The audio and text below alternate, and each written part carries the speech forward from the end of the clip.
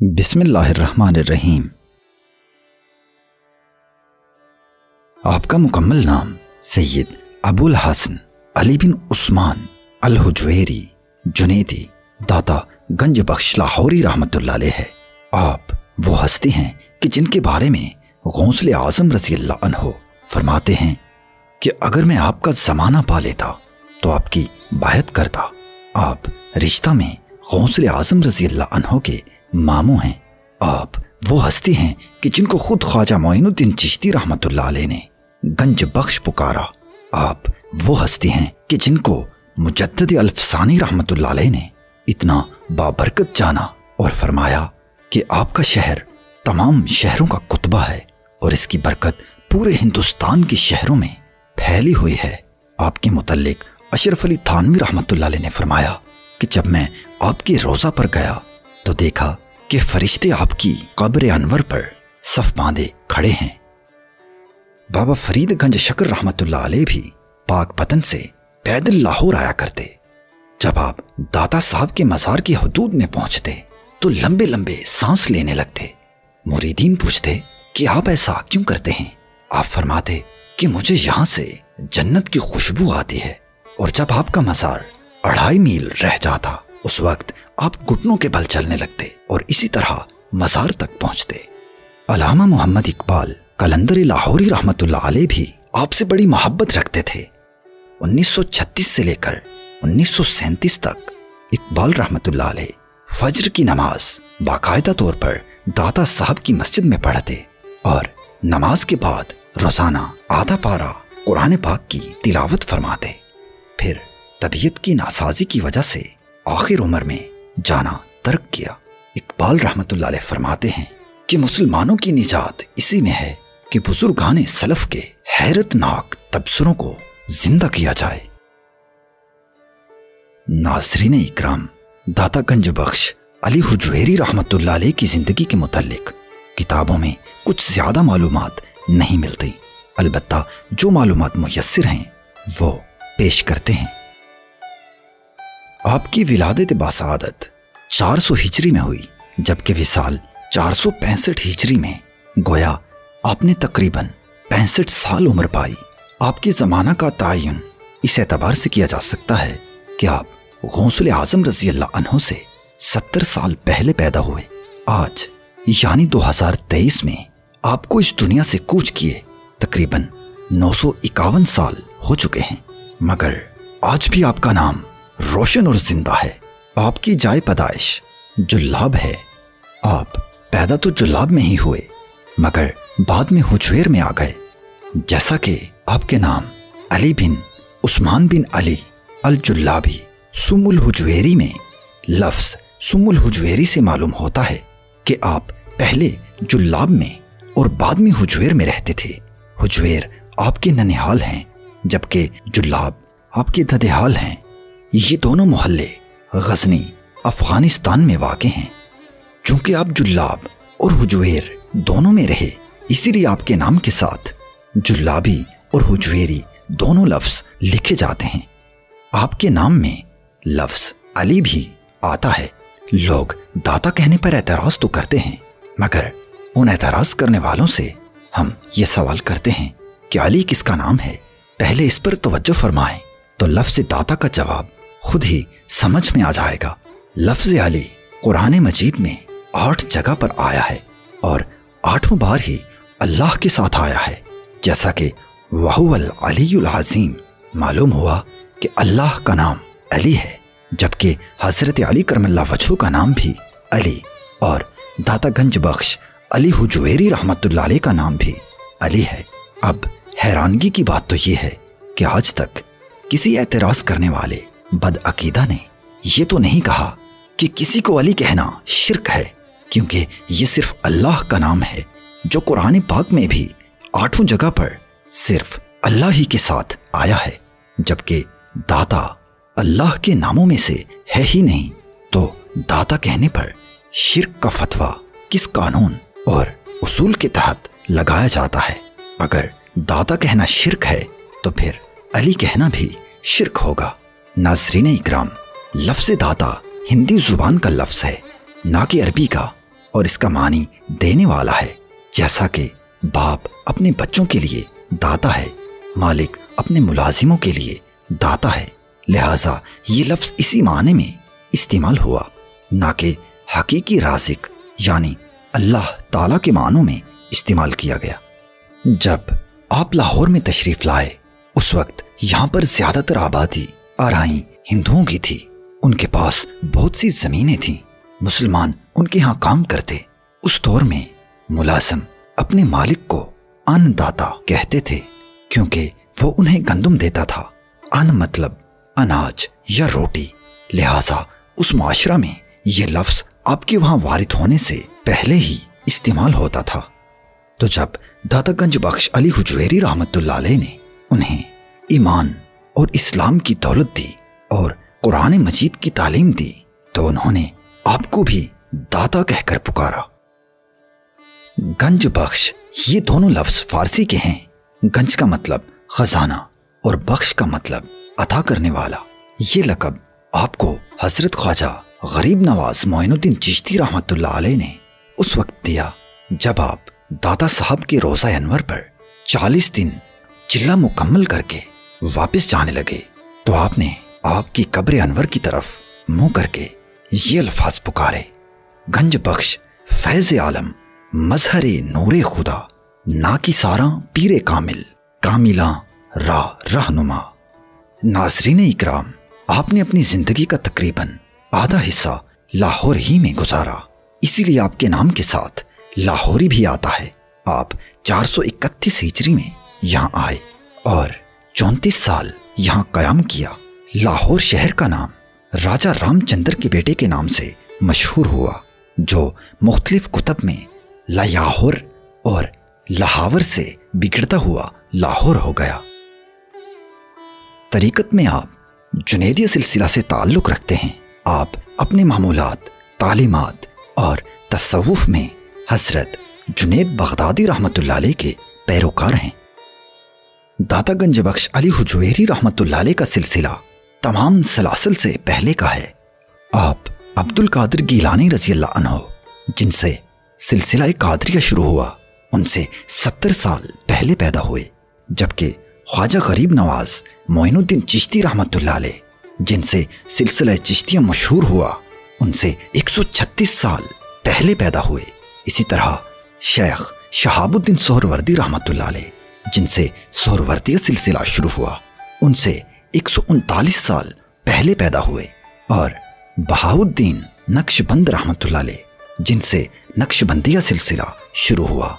आप उनसे 317 साल पहले पैदा हुए और हज़रत जुनेद बगदादी रहमत हसरत दातागंज बख्श अली हुजवेरी रहमत से एक सौ बयासी साल पहले पैदा हुए। आपके खानदान के बारे में बहुत ही कम मालूम मिलते हैं। आपके वालद गिरामी का नाम सैयद उस्मान बिन अली है, जिनका खानदान गजनी के एक मोहल्ला जुल्लाब में रहता था, और आपका शजरा नसब हज़रत इमाम हसन सलाम से जा मिलता है, जबकि आपकी वालिदा माजदा का शजर नसब इमाम हुसैन सलाम से जा मिलता है। यानी आप नजीबुतरफैन सैयद हैं। आपका खानदान उस वक्त के बादशाहों के खानदान की तरह हैसियत रखता था। हर कोई आपकी इज़्ज़त करता।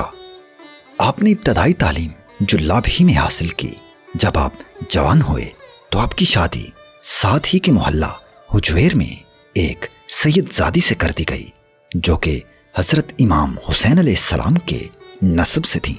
अल्लाह ताला ने आपको बेटा अता फरमाया। आपने उसका नाम हसन रखा, जिसकी वजह से आपको अबुल हसन भी कहा जाता है।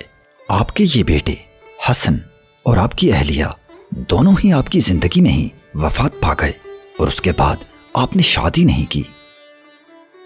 आपका पढ़ने और सियाहत करने का दौरानिया सत्ताईस साल पर मोहित है। फारसी ज़ुबान आपको घर ही से मिली। अरबी ज़ुबान में आपने महारत हासिल की। बारह साल की कम उम्र में आपने शायरी का एक दीवान किताब की शक्ल में लिख दिया।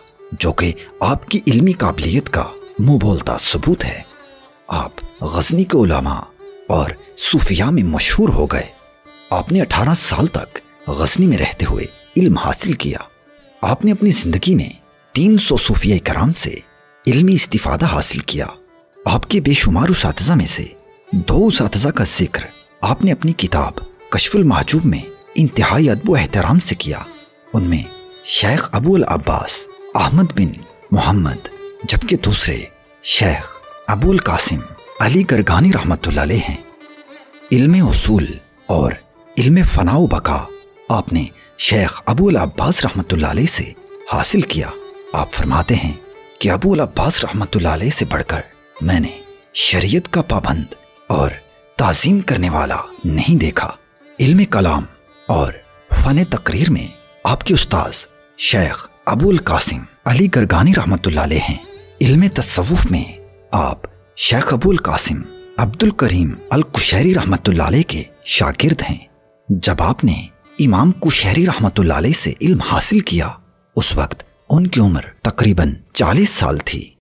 इमाम कुशारी रहमत तसवुफ के साथ साथ फिक हनफी के बड़े माहिर थे। फिक में आप इमाम आज़म नोमान बिन साबित, अबू हनीफा रहमत के पैरोकार हैं। हज़रत दातागंज बख्श अली हुजवेरी रहमत ने तकरीबन 19 से 31 साल, यानी 11 या 12 साल तक सियाहत की। आप वस्ती एशिया में Uzbekistan, Tajikistan, Kazakhstan, Azerbaijan, Bastam, Khorasan, Nishapur, Bukhara, Samarkand, Tus, शाम, दमिश्क, रमला, ईरान, बगदाद, फारस पाको Hind, Tabaristan, Kerman, Kufa, Basra, इन तमाम मुल्कों, शहरों और इलाकों तक गए आपकी सियाहत का मकसद सूफियाई कराम से मिलना, उनसे इल्म और फ्यूज़ो बरक़ात हासिल करना और मुख्तलिफ़ चीज़ों को जानना होता था। आपके मुर्शिद का नाम शेख अबुल फजल बिन हसन खुतली रहमत है। जब आप अपने मुर्शिद से पहली बार मिले तो बहुत मुतासिर हुए और उनकी बायत की। आपके मुर्शिद शेख अबुल फजल सूफिया का लिबास नहीं पहनते थे, ताकि रियाकारी और दिखावे से दूर रह सकें। उन्होंने साठ साल एक गौर के अंदर इबादत इलाही में गुजारे थे। दाता गंज बख्श अली हुजवेरी रहमत ने अपने मुर्शिद के साथ काफ़ी वक्त गुजारा और दूर दराज के सफ़र भी किए। हम वक्त मुर्शिद की खिदमत में मशगूल रहते। इकतीस साल की उम्र में आपने इल्म, तजर्बा और तस्वुफ में आला मुकाम और बहुत कुछ ऐसा हासिल कर लिया जो बहुत ही कम किसी के नसीब में आता है। एक दिन मुर्शिद आपसे कहने लगे कि, बेटा, तुम लाहौर चले जाओ और दीन इस्लाम की तबलीग करो। मुर्शिद के कहने पर आप 431 हिजरी में लाहौर तशरीफ़ ले आए। उस वक्त आपके साथ आपके दो दोस्त, शेख अहमद सरखुसी और शेख अबू सईद हुजवेरी थे। आप गजनी से सफ़र करते हुए लाहौर आ गए। आज जिस जगह मीनारे पाकिस्तान वाक़ है, इसके पास ही एक टीला था, जिस पर करी का दरख्त था। आपने इस दरख्त के नीचे डेरा लगाया। ये जगह भाटी गेट से बाहर है। ये गेट महमूद गजनी के दौर में मौजूद था, जबकि बाकी के लाहौर के दरवाजे बाद में बनाए गए। डेरा लगाते ही आपने सबसे पहले मस्जिद की तामीर शुरू कर दी। इस मस्जिद की तामीर में आपने सारे अखराज खुद उठाए। ये एक बहुत खूबसूरत मस्जिद थी। लाहौर में हिंदू और मुसलमान दोनों रहते थे, मगर मुसलमान कम थे और हिंदुओं में ज़्यादा तादाद आराई थे। लाहौर में आपका बसेरा, वहाँ की दुनियावी उलामा को बिल्कुल गवारा ना हुआ। उन्होंने आपकी इल्मी काबिलियत तो देख ही ली थी, जिसकी वजह से आपसे हसद करने लगे। एक दिन आपकी बनाई हुई मस्जिद पर एतराज़ कर डाला कि इसमें तो किबला की सिमत ही दुरुस्त नहीं है। आपने जब यह बात सुनी तो फरमाया कि ठीक है, मैं तमाम मुलामा और लोगों को दावत देता हूँ कि अगली नमाज़ यहाँ आकर पढ़ें। उसके बाद बैठकर बात कर लेते हैं कि सिमत ठीक है या नहीं। जब तमाम लोग आ गए तो आपने नमाज़ पढ़ानी शुरू की और नियत करते वक्त जब ये अल्फाज ऊँची आवाज़ में आपने पढ़े कि मुँह मेरा तरफ़ खाना काबा के, बस ये अल्फाज आपकी ज़ुबान से निकलने की देर थी कि तमाम नमाज़ पढ़ने वालों की आँखों से अल्लाह ताला ने हिजाब उठा दिया और उन्होंने अपनी आँखों के सामने खाना खाबा को पाया, बिल्कुल ऐसे ही कि जैसे खाना काबा के पास ही नमाज़ अदा कर रहे हों और काबा शरीफ बिल्कुल उनके सामने है। ये देखना था कि सब उलमा आपके कदमों में गिर गए और माफ़ी मांगी। इस वाक़े के बाद आपकी शोहरत दूर दूर तक तमाम मुसलमानों में फैल गई। आपके वजूद की बरकत से मुसलमानों के हौसले भी बुलंद हुए, जो कि हिंदुओं के गलबे की वजह से पस्त हुए पड़े थे। उस वक्त हिंदुओं में जोगी ऐसे लोग थे, जो अपने जादू और शैतानी अमल से लोगों को काबू में रखते थे और उनसे ज़बरदस्ती मुख्तलिफ़ किस्म की अशिया, मसलन अनाज या दूध वगैरह ज़बरदस्ती लेते। आप पर अल्लाह ताला का फसलो करम इस कदर था कि ये जोगी चंद लम्हे भी आपके मुकाबले में ना रह पाए और सबने तोबा की और आपके हाथ पर इस्लाम कबूल किया। अब लाहौर के अंदर आपका चर्चा और दबदबा कोने कोने में हो गया। हर वक्त आपकी खानकाह में रौनक रहती। लोग दिन के वक्त भाटी गेट से गुजरते हुए आपके पास आ बैठते। लंगर आम चलता, तबलीग होती। इसी तरह कुछ अरसा के बाद मुसलमानों ने यह फैसला किया कि भाटी गेट का नाम बदलकर गंज बख्श गेट या दाता गंज बख्श गेट रख दिया जाए। जब हिंदुओं को इस बात का इल्म हुआ तो उन्होंने जय सिंह की क्यादत के अंदर एक वफद दातागंज बख्श अली हुजवेरी रहमत के पास भेजा और उनसे दरख्वास्त की कि आप इस गेट का नाम ना बदलें, क्योंकि ये नाम हमारे अबाऊ अजदाद से चला आ रहा है। आपने जब उनकी ये बात सुनी तो फ़ौरन ये फैसला किया कि इस गेट का नाम भाटी गेट ही रहेगा। चुनाचे, आपकी इस फैसला से मुतासर होकर, इस फैसला के एक माह बाद ही तमाम भाटी कौम मुसलमान हो गई। आप वाज भी फरमाते थे, बहुत से लोग आपके कलाम की तासीर से मुसलमान हुए। हसरत दातागंज बख्श अली हुजवेरी रहमतुल्लाह एक बुलंद पाया आलिम, बालिग नज़र मुहक्किक और माकूल व मनकूल के जामे थे और इसके साथ आपका बातिन नूर इरफान से चकमगा रहा था। आपने मुख्तलिफ़ अहम मौजूद पर मुतद कुतब तसानीफ की, लेकिन बसद अफसोस ये कहना पड़ता है कि इन गिराम आया तसनीफात में से कोई किताब भी इस वक्त मौजूद नहीं। बाज किताबें लोगों ने चुरा ली और उन्हें अपनी तरफ़ मनसूब कर दिया। इसका ज़िक्र हज़रत दादा गंज बख्श रहमत ने बड़ी हसरत के साथ अपनी किताब कशफुल माजूब में किया और कई दूसरी कुतब वैसे ही नापायद हो गईं। इस वक्त आपकी तसनीफात में से सिर्फ़ एक नादिर रोज़गार किताब मौजूद है, जिसका नाम कशफुल महजूब है। ये किताब दुनियाए तसवुफ में और तमाम तरालम इस्लाम में आपकी बेहतरीन किताब मानी जाती है। इसे आपने गजनी में लिखना शुरू किया, मगर ज़्यादातर हिस्सा लाहौर में लिखा। आपने इस किताब में दो सौ सैंतीस कुरानी आयात, एक सौ इकतीस अहादीस और तीन सौ इक्यावन अकवाल इस्तेमाल किए। पच्चीस बड़ी जुबानों में इस किताब का तर्जुमा हो चुका है। ये किताब आपने अपने दोस्त अबू सईद हुजवेरी के कुछ सवालात पूछने पर लिखी। अल्लाह ताला ने आपको बड़ी इज़्ज़त थी। आपकी उम्र साठ साल हो चुकी थी कि एक दिन मुर्शिद का पैगाम आया कि मेरी तरफ़ चले आओ। मुर्शिद का हुक्म पाते ही आप छह या सात आदमियों को साथ लिए। चल पड़े। आप अपने मुर्शिद के पास पहुँचे। उस वक्त उनकी हालत अलील हो चुकी थी। आपने मुलाकात की। मुर्शिद का सर मुबारक अपनी गोद में रखा और आपके मुर्शिद अबुल फजल रहमतुल्लाह ने चंद बातें आपको बतलाई और फिर इस दुनिया में अपनी जान अल्लाह के नाम पर कुर्बान करते हुए वफात पा गए। 460 हिजरी में आपके मुर्शिद का विसाल हुआ। पाँच साल आपने अपने मुर्शिद के विसाल के बाद लाहौर में गुजारे। आपके चौंतीस साल लाहौर में मुकम्मल हुए। चार सौ पैंसठ हिजरी में दाता गंज बख्श अली हुजवेरी रहमतुल्लाह का विसाल हुआ। आपका जनाजा शेख हिंदी ने पढ़ाया, जो कि आपके मुरीद थे। लाहौर की सरजमीन को आपने दीन इलाही से खूब नवाजा। बेशुमार हिंदुओं ने आपके हाथ पर कलिमा हक पढ़ा और मुसलमान हुए। दीन इस्लाम का हकीकी परचम आपने अपनी रूहानी और जाहिरी दोनों काविशों से बुलंद किया। वफात के आठ साल बाद आपका मजार शरीफ बनाया गया। ये तामीर सुल्तान इब्राहिम बिन सुल्तान मसूद गजनी ने कराई, जिसमें कब्र मुबारक पर गुंबद नहीं था। मुख्तलिफ़ बादशाह आते रहे और आपकी मज़ार के अंदर मुख्तलिफ़ तामीरात करवाते रहे। महारानी खड़क सिंह ने मस्जिद के साथ एक लंबा हाल तामीर कराया ताकि लोग उसमें बैठकर कुरान मजीद पढ़ सकें। दादा साहब की बनाई गई मस्जिद को मजीद वसी किया गया। अठारह में गुलजार शाह कश्मीरी ने मस्जिद दोबारा से मुगलिया तर्ज पर तामीर कराई, जिसमें तीन गुंबद थे। इसके बाद फिर तामीर की गई। और मजीद गुंबद बढ़ा दिए गए। अठारह में हाजी नूर ने आपके मिसार पर गुंबद तामीर करवाया। 1960 में ये तमाम तर तामीरात और आपका मज़ार महकमा औकाफ की जेर निगरानी चला गया।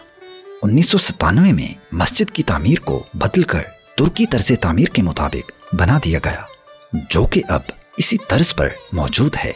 इस मस्जिद में तकरीबन बावन हज़ार छह सौ अफराद नमाज़ अदा कर सकते हैं। आपके मज़ार अनवर पर हर वली आता है।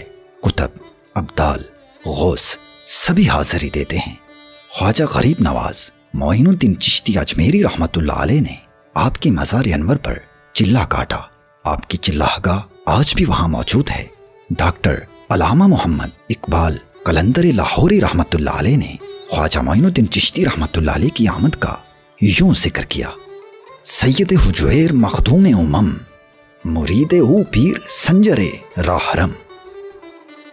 इकबाल रहमत आखिरी उम्र में सिर्फ़ कशुल महजूब किताब ही पढ़ा करते थे। एक दिन आप डॉक्टर नियाज को कहने लगे कि देखो, ये किताब कितना बड़ा खजाना है। सादा अल्फाज में इतना बड़ा पैगाम। मगर समझ में नहीं आता कि मुसलमान ये भी नहीं समझ पाता।